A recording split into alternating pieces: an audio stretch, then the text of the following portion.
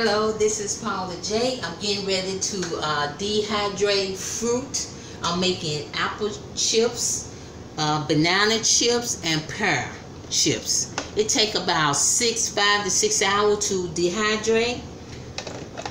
Once I cut it up, uh, I make sure that I will come back and show you how it look. And it take about five to six hours to do to do and uh, I'm making banana banana chips. And this is gonna be pear the green uh, apple and the red apple. You can't see but I already cut it up. And I will come back and show you how the uh, chips look. Make sure you subscribe and click like on Paula J Nana Paula J. See you soon. I put the top over I cut it on.